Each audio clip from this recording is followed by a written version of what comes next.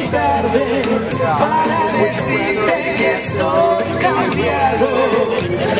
Y es muy tarde para decirte que estoy cambiado.